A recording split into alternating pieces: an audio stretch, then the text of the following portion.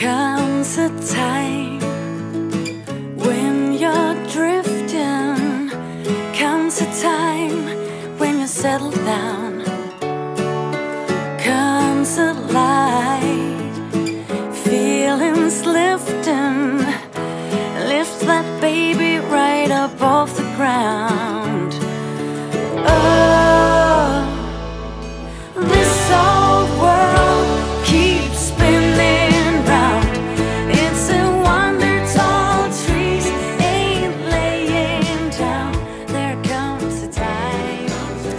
Jamen, øh, Come to Time er jo øh, en af de sange på pladen, som øh, vi har lånt.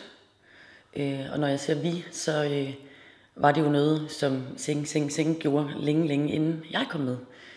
Øhm, og jeg er så, så heldig, at jeg er den, der har fået lov at synge den, efter øh, Nina Forsberg, som sang den så fint. Øhm, og som lånte den af Neil Young.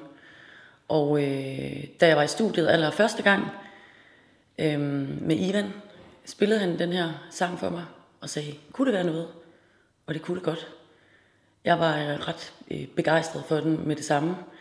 Øhm, både øh, stemningen og tonen i den, og så faktisk det med, at øh, det er så skønt at synge noget, hvor det ikke handler om at være sådan øh, dygtig, syng øh, højst, øh, længst, kraftigst, øh, så meget du kan. Men øh, det handler meget om at øh, være der og bare synge den, som den er.